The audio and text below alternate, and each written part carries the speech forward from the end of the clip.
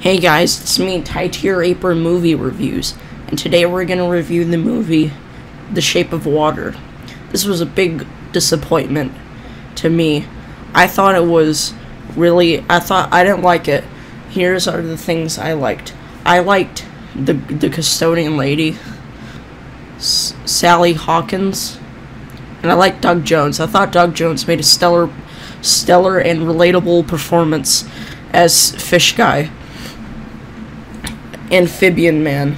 I also thought that I didn't like uh, Zod. I thought Zod was bad. I didn't like Zod. Zod was bad. I don't really like him.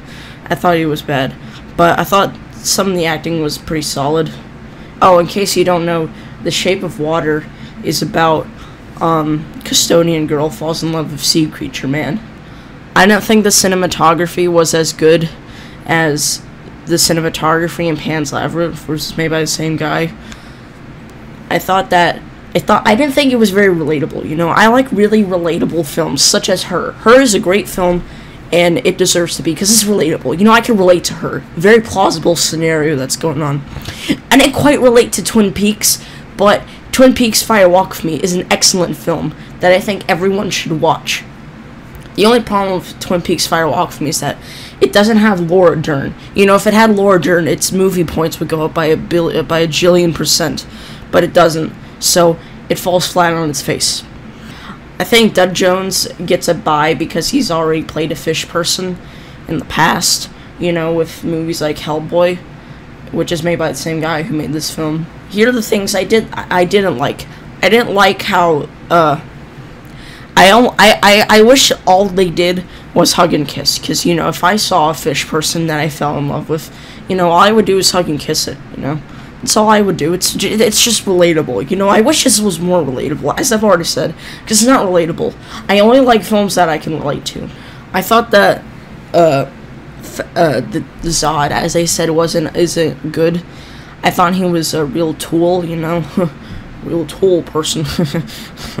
yeah, because you know, if he wasn't a tool, and he was more like how a real person who was trying to look for a fish fish person he, he could be relatable, and you know that can make its relatability points go from like right here to about right here. You know, it's got to be relatable because you know if it's not if it's not relatable, that means it's not good. Uh you know, like there are other films that were better than this film that came out this year.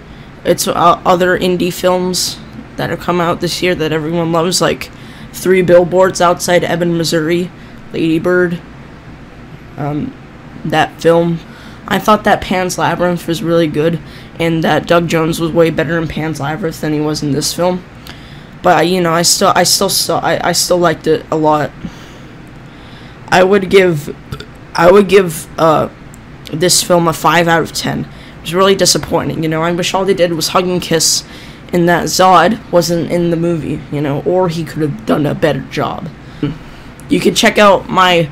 Uh, you can check out my blog in the video description or end card if you want to. I don't care. Uh, and remember, kids, life is Inception.